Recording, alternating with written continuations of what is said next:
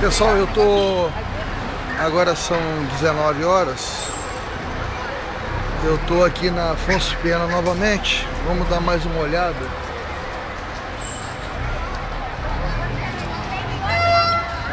Eu vou passar em vários horários para ver se a gente consegue alguma novidade circular por aí.